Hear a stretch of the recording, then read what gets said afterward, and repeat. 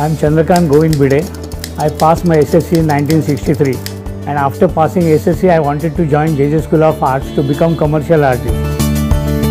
Due to financial constraint those days I could not join JJ School of Arts but to become artist that urge was there in me. My father told me Chandrakant you will learn stenography and typing that you will get job also and I'll be also uh, you will be help to me also.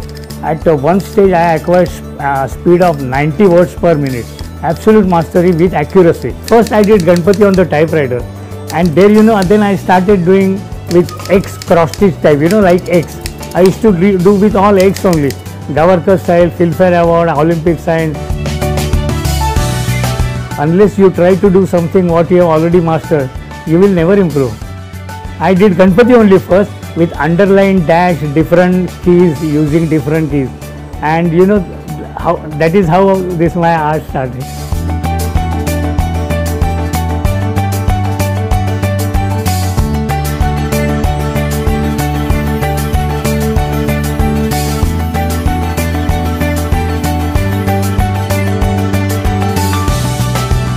This uh, typewriter has given me so much.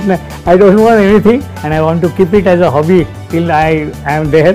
Continue with my work as a typewriter.